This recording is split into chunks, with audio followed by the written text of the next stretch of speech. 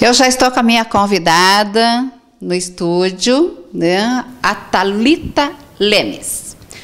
Ela é fonoaudióloga e hoje nós vamos falar sobre, claro, gente, a respeito de aparelho auditivos, nós vamos falar sobre exames. Que tipo de exames que dá para se fazer num bebê, vamos imaginar assim, que pode aparecer algo diferenciado a respeito da audição? Isso é tudo com a Thalita. Tudo bem, Thalita? Tudo bem, Tamires, e você? Bem, eu estou super feliz que você está aqui. Muito obrigada mesmo. pelo convite. porque é bom a gente falar um pouquinho a respeito deste assunto, porque muitas pessoas né? Cada, diz que cada um no seu quadrado, são leigas. Então, nós temos que ir em busca de profissionais. E hoje nós estamos aqui com uma profissional que é a Talita Lemes. Nós vamos começar por audiometria. Vamos saber o que, que é. Você que sempre tem algo mais, né? Talita, é contigo. Tá. Então, Tamires, a audiometria é, é um exame de audição, né? Existe a audiometria tonal e a audiometria vocal. Vou falar um pouquinho primeiramente Isso. da audiometria tonal. O diferencial. Isso. A audiometria tonal é para aferir né, o quanto o paciente está ouvindo. Então, por exemplo, ele chega na clínica e fala: Talita, eu tenho dificuldade para ouvir, né? Eu detecto o som, até detecto, percebo que tem um som, uma fala, porém eu estou com dificuldade de discriminar a fala. É o que mais chega para mim na clínica. Tipo assim, eu não estou ouvindo nitidamente. Não estou ouvindo nitidamente, exatamente. Então eu faço esse exame, né, para detectar ou descartar se o paciente tem uma perda de audição. Com ele, eu consigo saber o tipo de perda auditiva que o paciente apresenta uhum. e o grau de perda auditiva que ele apresenta também. Agora, isso já com uma certa idade? Não, não. É, tem de diversas idades. É, é, tem pacientes jovens, tem pacientes adolescentes, tem pacientes idosos, então é várias faixas etárias. Agora você falando de pacientes idosos, né, uhum. que vai chegando uma idade já que vão perdendo um pouquinho da audição. Sim, sim, é comum isso. Isso é comum. É, é comum. É, esse nome tem até um nome, um termo técnico que é hum. presbiacusia que a presbiacusia é a perda de audição por envelhecimento mesmo, uhum. né? Assim como existe outra presbi, presbiopia, presbifonia, sim, sim. que é da voz, sim. por envelhecimento dos órgãos mesmo. Aí tem a presbiacusia, que é da audição. Agora, não tem uma idade assim, né? A pessoa que vai pegando mais idade, por exemplo, e vai perdendo a audição. Não tem a idade certa. Tem pessoas que começam mais cedo, tem pessoas que é mais tarde. Sim, Como é sim. que é? É, tem pessoas que começam mais cedo e tem pessoas que começam mais tarde. Porém, a presbiacusia a gente coloca aí a partir dos 60 a 65 anos. É? É, mas pode aparecer antes sim. Tão cedo Porque assim? daí vai ter vários fatores né, de risco. É, pessoas hipertensas, diabéticas, é, que tomam medicamentos. Os medicamentos também podem provocar perda de audição.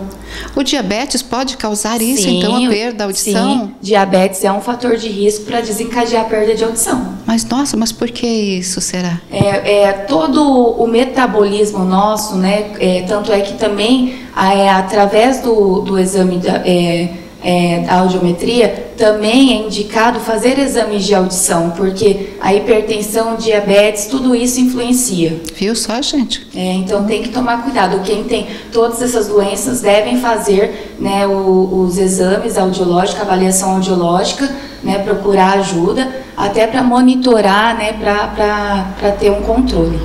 Ótimo.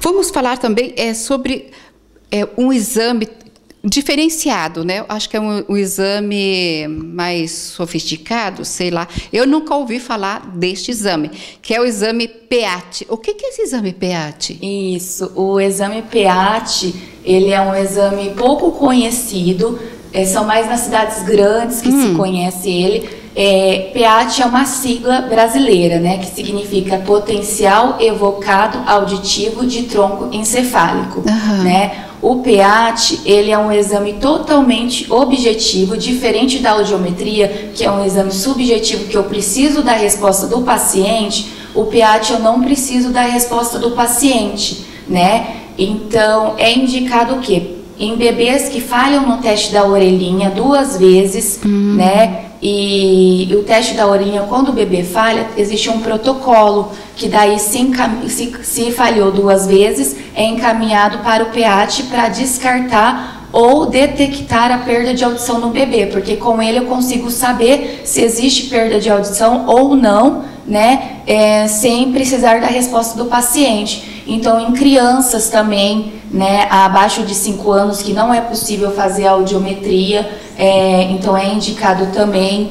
É, ou também indivíduos especiais, né, com deficiência intelectual ou algumas síndromes, como eles não têm um cognitivo preservado, não entende comandos para fazer audiometria, é indicado o PEAT, porque daí ele vai avaliar tudo sozinho, né? E também é indicado em pacientes simuladores, por exemplo, é, o paciente está alegando, entrou com uma ação na empresa, alegando que, que ele perdeu a audição na empresa, ah. devido à perda devido ao ruído que tem na empresa, que existe a perda ah, auditiva sim, induzida tem empresas, indústrias que são sim. barulhentas. Então, aí tem casos que o, o trabalhador entra contra a empresa, né, uma ação.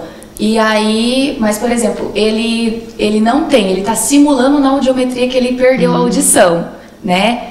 E aí se faz o PEAT, porque no PEAT não tem como o indivíduo simular. Ele detecta sem eu poder, sem eu precisar da resposta dele. Hum, é esse exame que você tem aqui que é o especial? Isso, esse exame.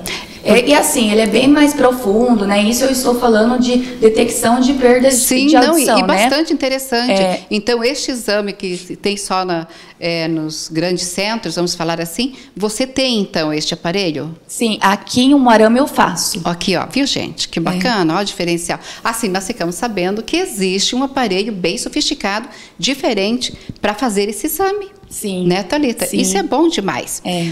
E, e aparelhos auditivos? Tem também. Você trabalha com... Tem, né? Porque... Sim, eu trabalho com aparelhos auditivos, né? E desde aqueles intracanal que vai bem dentro do ouvido, como também os modelos que vão atrás do ouvido, ah, que sim. é o retro Faz auricular. Um isso, isso. Mas hoje todo mundo pensa quando fala, ah, atrás do ouvido é aqueles grandão com uma mangueirona, com molde. Isso. Não, não é nada mais disso. Esteticamente não, não fica bem. Ele fica super é, discreto. discreto, imperceptível, não, não vai mais molde. É, a, a parte de trás dele é uma pequena parte, não é mais é, aquela parte que é, é grande. Sim. Então, hoje em dia, os, os aparelhos eles estão bem sofisticados, tanto esteticamente Modernizou falando, bastante. isso, como também é a tecnologia que melhorou demais, né? Isso é verdade. Aí, viu, gente? É. Quanta coisa, porque é, o tempo está passando. Hoje a tecnologia nessa área avançou muito. Avançou. E assim, é, se o paciente quiser testar o aparelho antes, tem como também. Também. Também. Então, assim. O test drive. É um test drive, exatamente.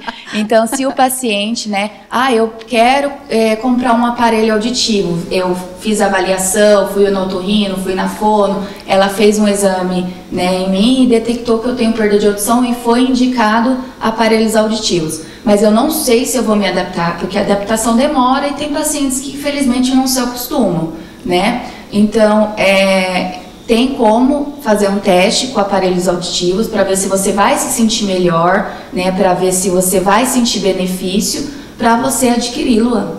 Nossa, é. olha só, uma bela de uma profissional, aí também com aparelhos, aparelhos diferenciados. Agora, com tudo isso, existem exames ainda mais profundos para se fazer a respeito disso ou não? Tem outros exames é, que avaliam outras partes da orelha, né? Uhum. Por exemplo, quando eu faço audiometria tonal e audiometria vocal, em que eu falo umas palavras, tem sempre um complementar que eu faço também, que é o impedanciometria. Que a impedanciometria, ela avalia a parte da orelha média. Porque assim, Tamires, nosso ouvido é dividido em três partes, uhum. né? Tem a parte da orelha externa, né, a parte da orelha média e a parte da orelha interna. Então, é, existem exames que avaliam cada parte do ouvido. Esse, por exemplo, que eu citei agora, que é a impedanciometria, ele vai avaliar a parte da orelha média, que é a membrana timpânica, os ossos do ouvido, aqueles três ossos do ouvido, a bigorna, o martelo e o estribo, né? E a tuba auditiva. Então, assim, pacientes, por exemplo, que sentem é, é, líquido dentro do ouvido, que tem infecção, dor de ouvido, esse exame é muito indicado, né? Porque ele detecta para ver se tem presença de líquido dentro do ouvido, né? É, como que a membrana timpânica está funcionando, se ela está vibrando quando chega um som, se os ossículos, os ossos do ouvido estão também é, em movimento correto. Então tem tudo isso. Nossa, é. nossa gente, que explicação! Isso é uma aula, hein? que bacana! Nossa, Talita, que maravilha! É, tem pessoas, tem pessoas que para piscina é um problema sério por motivo da água no ouvido, Sim. banho, Sim. né? E, e, como que fica isso? É uma deficiência que tem é, ou não? Alguns casos precisam sim de cirurgia, aí é o otorrino que vai fazer a cirurgia, né? Sim. Mas é, existem também tampões. Os tampões que é até a fonodióloga que faz esse tampão, né? É, já chegou pacientes com esse problema para mim, né? E a gente faz o tampão para ele, tem várias cores, que na hora do banho, na hora de entrar numa piscina, ele coloca esse tampão que faz com que não entre água no ouvido dele né, para que não sinta dor, porque tem pacientes que têm isso mesmo. Em alguns casos é indicado a cirurgia, que isso vai ser o otorrino que vai ver, mas em outros casos não. Mas o que que, vamos, vamos falar assim no português, claro, né? O que que falta no ouvido, assim, que entra água e dói tanto? Não, então, às vezes pode ser que o paciente, ele tem uma infecção de ouvido, né? Então, tem, pode... tem pessoas que têm infecção de ouvido frequente. frequente. Então, isso, é, entrou água, vai doer né? Então, é, pode ser esses pacientes também, né? Como pode ser um paciente que não tem nada na orelha média, na parte da orelha média. Tudo funciona normal, porém, é, o, o ouvido dele pode pegar mais umidade, que a gente fala, né? Onde pode desencadear a dor. Ótimo. Eu vou fazer uma perguntinha para encerrar, porque olha, esse papo aí é bem interessante. Você já atendeu alguma criança com alguma coisa dentro do ouvido, milho, feijão, é, isopor. Esta semana eu vi uma situação, vou para casa porque tem gente que colocou isopor no ouvido. Acontece? Sim, eu já atendi. Eu atendi já uma criança é, em que foi até em um momento que eu estava dando aula numa supervisão de estágio, né? Não foi bem eu que atendi, foi minhas alunas, mas eu estava lá como supervisora, né? E a minha aluna falou assim, professora, vem cá fazendo um favor. É, existe membrana timpânica azul? Falei, não, não existe membrana timpânica azul. Ainda falei assim para ela, só se for um avatar, né? É aí aí eu, ela falou assim, não, porque tá tudo azul dentro do conduto do, da criança. Aí eu fui lá, fiz a metoscopia, que é olhar dentro do ouvido, né? E tinha uma bexiga estourada. Meu... Né? Então ele estourou a bexiga e colocou dentro do ouvido. Era uma bexiga azul. Não acredito é. que até isso. Aí, nesses casos, imediatamente você tem que fazer um encaminhamento para o otorrino para que ele faça a, a, limpeza, a lavagem, né? É, o otorrino, daí não, tem que fazer quase que uma microcirurgia, né? Pra, gente, que coisa absurda. Eu vou te deixar bem à vontade para você deixar o recado aí para o pessoal de casa, para quem está te assistindo, né? Com essa eu adorei o bate-papo, sério também, mesmo. Muito, obrigada. muito bom, muito bom mesmo. Como é gostoso conversar aí, né, com as profissionais na área da saúde. Fique à vontade, dá teu recado.